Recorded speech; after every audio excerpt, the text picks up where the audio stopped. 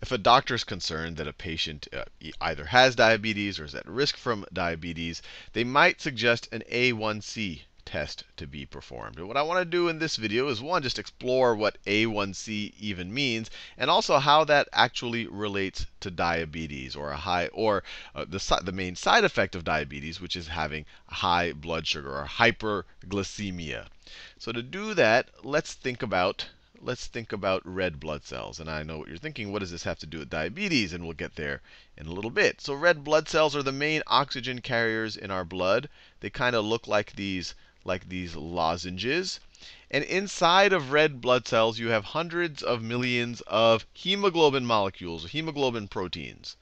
So let me draw some hemoglobin proteins. You actually have the number I found is two, two to 300 million per per red blood cell. And then we have tens of trillions of red blood cells. So we have a lot of hemoglobin in us. And hemoglobin is what makes red blood cells red. When hemoglobin is bound to oxygen, it has a red color. So this right here each of those are hemoglobin protein. Hemoglobin. Now, it turns out that hemoglobin, let me draw a bigger version of it. Hemoglobin, if it has some glucose around, so let me draw some glucose floating around near the hemoglobin.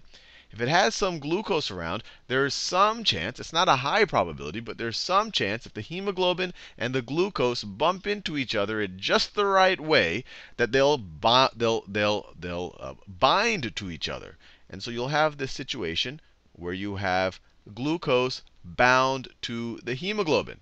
Now, this, this, this hemoglobin with a glucose bound to it is called glycated hemoglobin.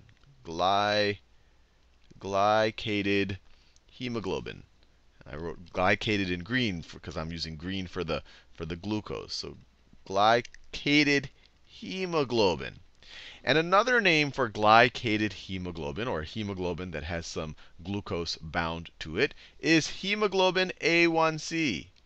Hemoglobin A 1C. And now I can imagine things are starting to click in your brain. When you are measuring your A1C levels, that's a test of the percentage of your hemoglobin that is hemoglobin A1C. So you take a blood test, they're measuring relative to the total amount of, of hemoglobin there, how what percentage of that is hemoglobin is hemoglobin a1C.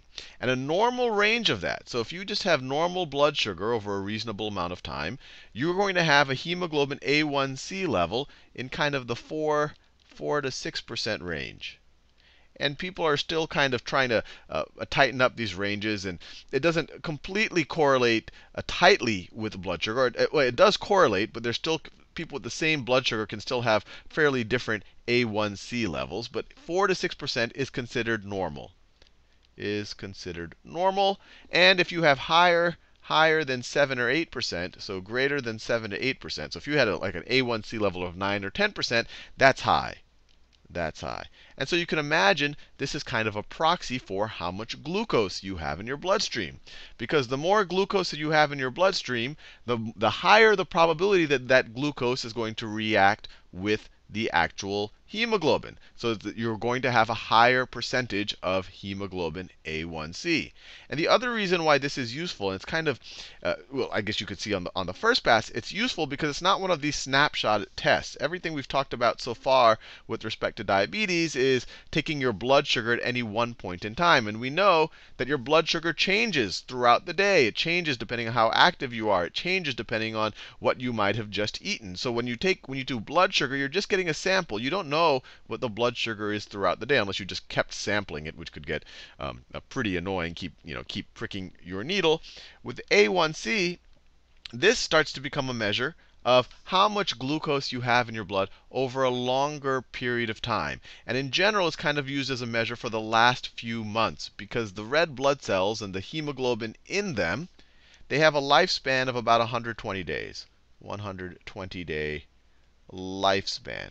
Now, that obviously doesn't mean that all of your hemoglobin gets produ produced on one day and then all dies 120 days later. You have some red blood cells and hemoglobin that might be a few seconds old, and then you have some that might be approaching 120 days old. So on average, they're going to be about 60 days old or about two months old. So when you're measuring this percentage, you're, you're, you're definitely not getting the percentage of anything older than 120 days. And on average, you're seeing things that are from about two months old. So the higher this percentage, this is saying, wow, things, you know, my average, my average hemoglobin molecule in my body is only maybe 60 days old at this point, and already 7 to 8% of them, 7 to 8% of them have already been glycated, which is an indicator that I probably have more blood sugar than a normal person. In a normal situation, only 4 to 6% of, of, my, of my hemoglobin would get glycated. So hopefully that explains what A1C is.